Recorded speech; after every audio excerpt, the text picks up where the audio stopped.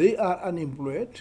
Yes, there is no place where they can be grazed, but we as a government, we, we are having, uh, if it is not the, the communal area, commercial farms that are bought by the government.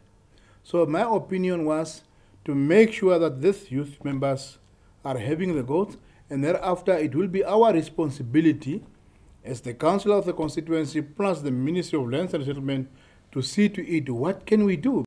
As the majority of the beneficiaries are in the youth category, Nguvauva says those goats were given as an incentive and that they need not reimburse his office or the sponsors.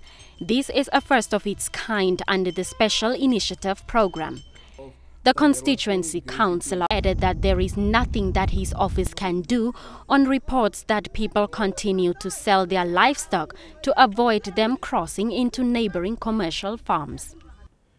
Even before that, weeks after they received this, they start selling them. We rushed there, we indicated to them it was not a matter of that there was no grazing place. Even if you say, as you say that you were there, you can see their conditions. Conditions very good. While we are saying there is no place where they can graze in the corridors. Very good. Yes, sometimes when they are getting into the farms of the commercial farmers, they are fined it's wrong, but there is nothing that we can do.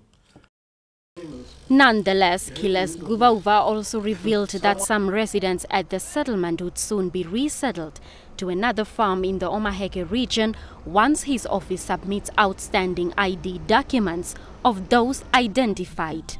Blanche Coreses, NBC News, Omitara Settlement, Omaheke region.